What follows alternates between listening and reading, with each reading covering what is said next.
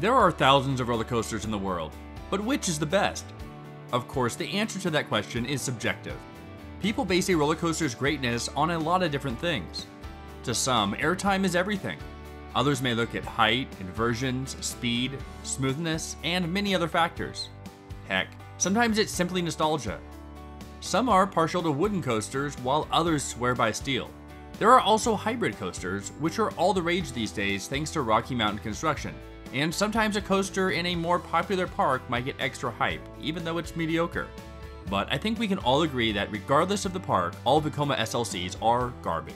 In this video, we'll rank some of our favorite roller coasters, ending up with the very best.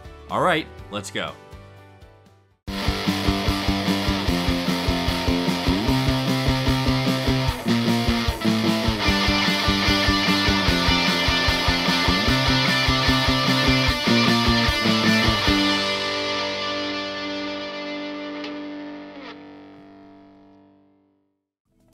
Roller Coaster at Paul Bunyan Land in Minnesota is an absolute gem of a ride.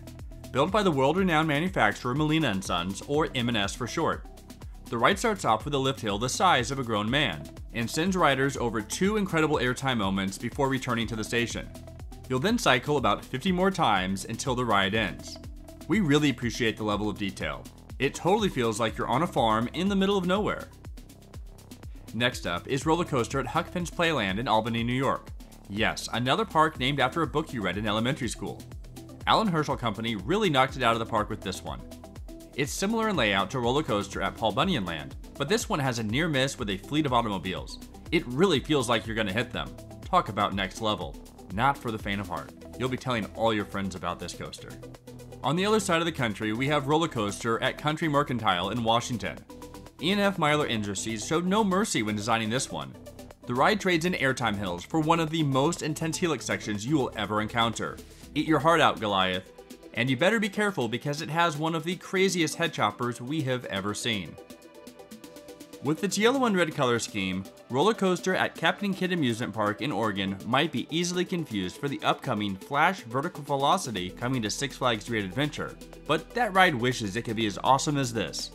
Roller Coaster is about as extreme as it gets. It's also one of the smoothest coasters you will ever ride. And if you ever want to take it home for an undisclosed sum, the park will dismantle it, pack it up on the trailer, and send you on your way. The fifth coaster on this list is Roller Coaster 5 at Hebron's Fireman's Carnival in Maryland. The name is a bit odd considering it's the only coaster in the park. The owner must have been a fan of Roller Coaster Tycoon, which just turned 25 years old. Crazy to believe. Anyway, Roller Coaster 5 is a back row ride and it's all about night rides. Just look at this incredible lighting package. We love everything about it. But it isn't for everyone. When visiting the park, we overheard a guest say, Roller Coaster 5 looks too intense for me. It's log, it's log, it's big, it's heavy, it's wood. Log roller coaster at Yellowstone Bear World, that is. Ironically, the coaster isn't made of wood, and is a steel SBF Visa spinning coaster. It stands an incredible 14 feet high and runs along a track of 190 feet long. We love how unique the ride experience is. You won't find anything like it anywhere else in the world. We've made it to the top roller coaster in the world. And unlike Log Roller Coaster, this one is made of wood.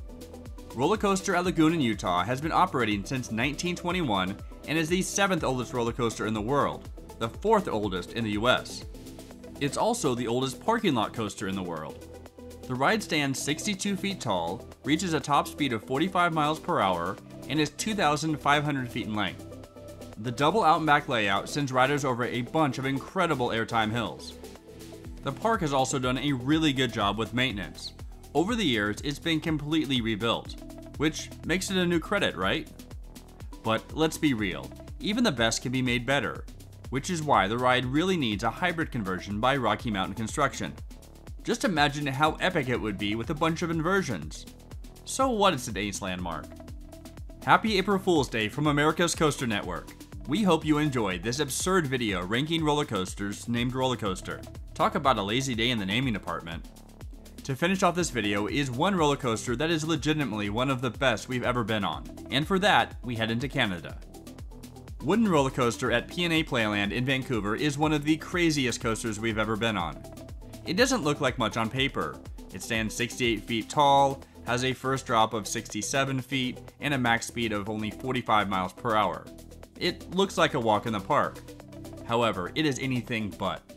The ejector airtime is phenomenal and borderline frightful, even for a coaster enthusiast. You'll be flying out of your seat over and over again. We honestly had to hold on, it was that unsettling. The ride is an ACE Coaster landmark and was voted the best wooden coaster in Canada.